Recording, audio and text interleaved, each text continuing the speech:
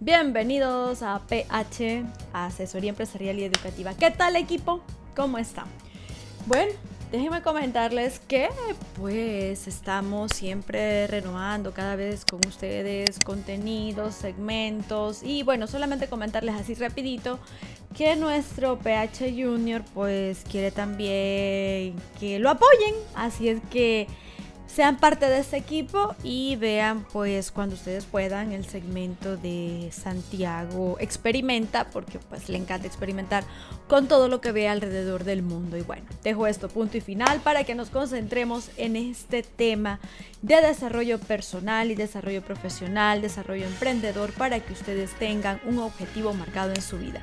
Y hay algo bien importante y lo quiero tomar como relevante dado a ciertas circunstancias que suceden también, eh, no solamente en la vida eh, cotidiana, sino que también en la vida de pareja. Me voy a meter en ese rollo. bueno, sí, es importante que ustedes lo sepan.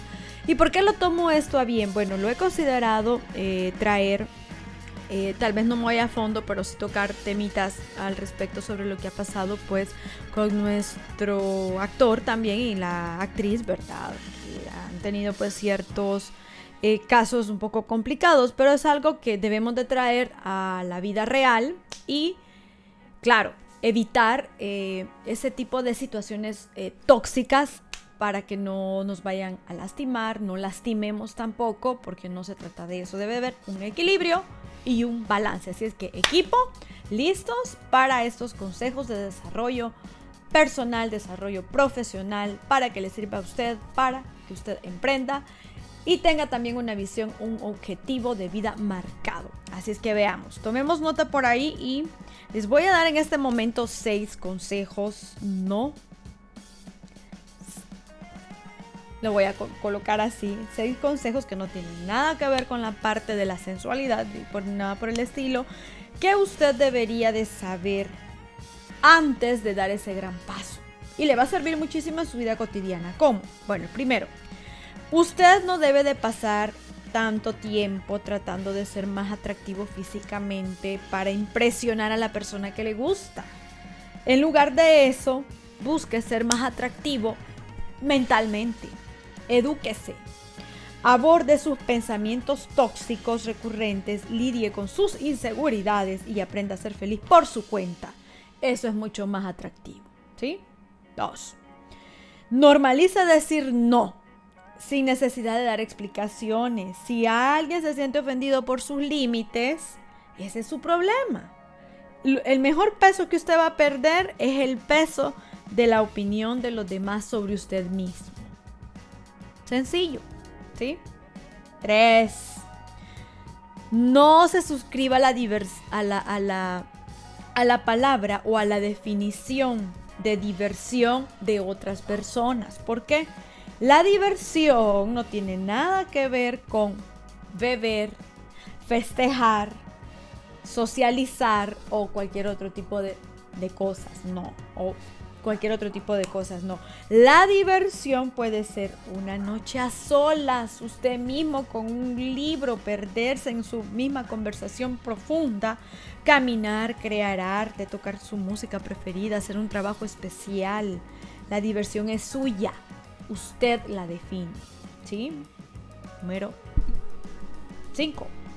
Antes de casarse, analicen las facturas cómo lo van a compartir, el presupuesto, el estilo de crianza, eh, los hijos, eh, las deudas, cómo se va a tratar con la familia, las creencias, los traumas, eh, las expectativas, las expectativas de pareja, financieras, algún proyecto, historial de salud es importante. Eh, los sueños, algún vicio que se tenga y que ya no quiera, eh, la carrera, otro tipo de educación, la visión inclusive de política, la religión es importante, cualquier otra cosa que se le ocurra, porque el amor, dicen por ahí, no es suficiente.